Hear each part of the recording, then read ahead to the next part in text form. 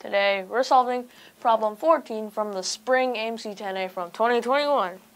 All the roots of the polynomial z to the power of 6 minus 10z to the power of 5 plus az to the fourth power plus bz cubed plus cz squared plus dz plus 16 are positive integers possibly repeated. What is the value of b? Now we have this polynomial here. The first thing we notice is that this has a maximum power of 6. So therefore, there are six roots of this polynomial. Okay, and we want to find the value of b, the coefficient for the z cubed term.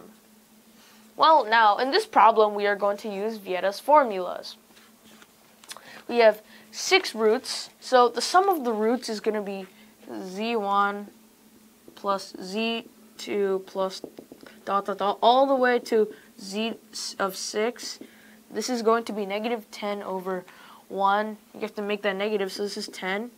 Now, all the roots multiplied, so z, and then z of 6. Well, the um, when you multiply all the roots, this is going to be 16 over the coefficient here, which is 1, so 16. Well, now we notice that the the multi um there is like a sequence of numbers where this works. Mm, so we want to sum up to 10. Well, we notice that 2 plus 2 plus 2 plus 2 plus 1 plus 1 sums up to 10. And when you multiply these together, you get 16. So we found all the six roots. This can be expressed as as z minus 1 squared, since there's two 1s as roots, times z minus 2 to the power of 4. We can expand this.